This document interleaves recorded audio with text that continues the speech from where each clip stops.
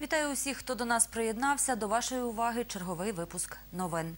Розпочався третій день п'ятого всеукраїнського учнівського турніру юних філософів та релігієзнавців. О 10-й годині відбудуться півфінальні бої.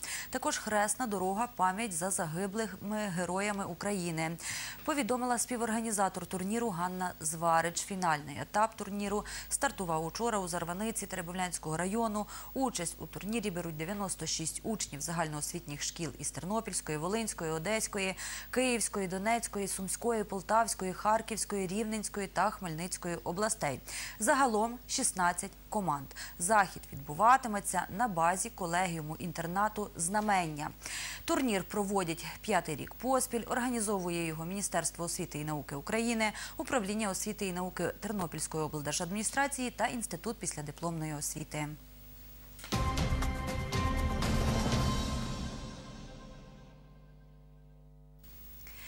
На 40% цього місяця безкоштовним інсуліном забезпечені хворі на діабет тернополяни. Їх у місті є 1109 осіб. Чому така ситуація склалася, розбиралися наші кореспонденти. Це аптечний кіоск номер 3 у другій міській поліклініці Тернополя. Тут отримують інсулін хворі на цукровий діабет. Фармацевт Зоя Савицька розповідає, щодня до аптеки за препаратами інсуліну звертаються близько 20 осіб. Жінка показує холодильники, в яких зберігаються ліки. І якщо є повне постачання інсуліну, що потрібно, у нас два заповнені холодильники. На даний момент тільки полупусті холодильники, і ми людей не можемо постачати достатньою кількістю інсулінів. Коли було багато людей, то ми обстачали і 40, і 50 людей. Зараз один-два чоловіка. За словами Зої Левицької, проблеми з постачанням інсуліну розпочалися три тижні тому.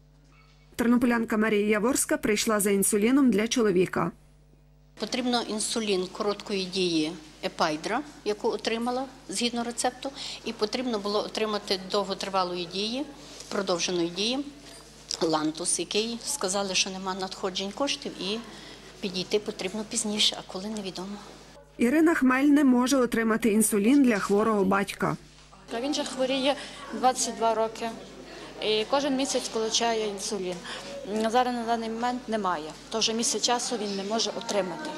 У Тернопільській області 4900 інсулінозалежних хворих. На річну закупівлю цього препарату держава виділила 16 мільйонів. Це 40% від необхідної суми. Не вистачає ще 18 мільйонів. На відшкодування вартості безкоштовного інсуліну для 1109 хворих, які проживають у Тернополі, потрібно 11 мільйонів. Каже начальник управління охорони здоров'я облдержадміністрації Володимир Богайчук. На сьогоднішній день у нас немає проблем з іншими районами, тому що, як правило, кожний район, коли приймав бюджет або коли там вносили зміни до бюджету, сесії районної ради приймали рішення і чи на півроку, чи на квартал, що дофінансовували саме по цій програмі.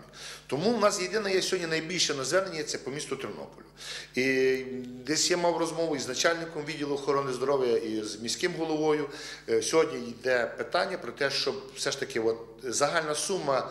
11 мільйонів, яка необхідна для того, щоб забезпечити хворих. Ми їм дали 5, а ще 6 мільйонів треба додати з міського бюджету, щоб забезпечити саме такий контингент хворих і забезпечити хворих інсуліном. Багато є звернень з того приводу, що люди не всі отримують. І, дуже важливо те, щоб тих 40% ще 60 мало би дофінансувати е, якраз саме місто Тернопіль, саме бюджет міста Тернополя. Заступник начальника відділу охорони здоров'я з економічних питань Тернопільської міськради Мирослава Тарнавська називає іншу цифру 8 мільйонів. Стільки, за її словами, потрібно, щоб міська рада відшкодувала свою частку вартості препаратів інсуліну. З державного бюджету нам виділено 4 мільйони гривень на відшкодування вартості е, відпущених аптеками інсулінів. Е, В по наших обрахунках мінімальна потреба буде складати 13,5 мільйонів. Відповідно, на міською радою на сьогодні вже виділено 900 тисяч для за рахунок залишків минулорічних залишків субвенцій. Необхідно ще виділити кошти в сумі 8 мільйонів гривень. Це дуже значна сума. Це для міського бюджету це є дуже дуже велика значна сума, і ми вважаємо, що оскільки це в першу чергу є завдання держави забезпечення інсуліном інсулінозалежних хворих. Тому ми зверталися в кабінет міністрів, ми зверталися в міністерство, ми зверталися міська рада, зверталися м, всі інстанції про те, щоб хоча б частково ця сума була покрита за рахунок коштів державного бюджету.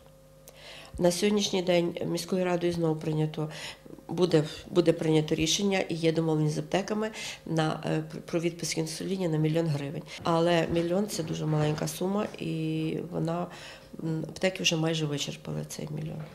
Анжела Шова, Любов Гадомська, Андрій Бодак, Оксана Галіяш. Новини. 13 учасників соціальної ініціативи «Єднання поколінь» шеф-кухар Аліна Коченко навчала, як дешево приготувати страву вдома. Також вона розповіла пенсіонерам про корисне і здорове харчування. Детальніше у сюжеті. Шеф-кухар Аліна Коченко розповідає учасникам єднання поколінь, як готувати комплексну страву боул та про здорове харчування. Багато хто зараз цікавиться корисним харчуванням, і тому е, було придумано такий е, набір корисних інгредієнтів для нашого організму, е, який потрібен нам для того, щоб їсти завжди щось натуральне, отримувати від цього енергію. Вага однієї порції комплексної страви боул 400 грамів. У закладах харчування вона вартує 90 гривень. Якщо її готувати вдома, вона коштуватиме 40-50 гривень. Приготування страви займає до години часу. Які інгредієнти входять у боул, розповіла шеф-кухар Аліна Коченко. Це йде комплексна страва, в якій поєднуються е, всі необхідні для нашого організму речовини: це білки, жири, вуглеводи, корисні жири, і вони збагачують наш організм якоюсь силою та енергією. В дану страву е, в нашому варіанті входило листя салату, рукола, е, потім помідор чері, оброблений сувідований буряк, грильована курка, грильовані гриби та крупа кускус і грецькі горіхи. 67-річна Христина Касіян відвідує соціальну ініціативу «Єднання поколінь» три роки. Жінка раніше займалась підприємницькою діяльністю. Зараз її пенсія 1618 гривень. Каже, відвідує заклади харчування рідко. Отого я і прийшла, щоб поцікавитися, що чим це можна е, е, зробити різно, різноманітну їжу, що можна було зробити е, з такі е, копійки, як то кажуть, наші.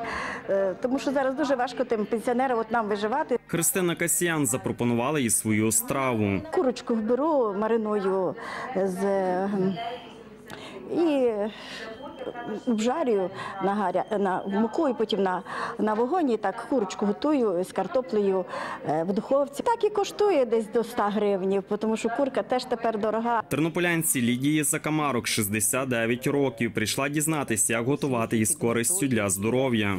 Було дуже все смачно. Особливо вітаю те, що багато овочів присутні, салат, рукола, бурячок то все дуже корисне для організму. Вдома трошки лінуєшся, часом не дбаєш за те.